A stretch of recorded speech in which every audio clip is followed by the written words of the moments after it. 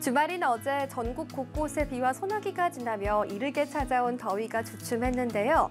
휴일인 오늘은 다시 한여름 더위가 고개를 들겠습니다. 맑은 하늘 아래 낮 기온이 30도를 넘나들겠고요. 특히 남부지방을 중심으로는 체감 온도가 30도를 넘어서며 더위가 더 심하겠습니다. 이 땡볕 더위에 대비가 필요하겠습니다.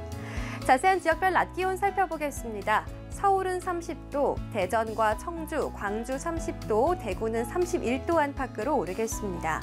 고양과 창원은 32도, 여수와 포항 30도 안팎으로 오르겠습니다. 한낮에 외출하신다면 자외선 대비도 필요하겠습니다. 낮 12시부터 3시 사이 전국의 자외선이 매우 강하겠습니다. 모자나 양산, 선글라스, 자외선 차단제를 챙겨주시는 편이 좋겠습니다.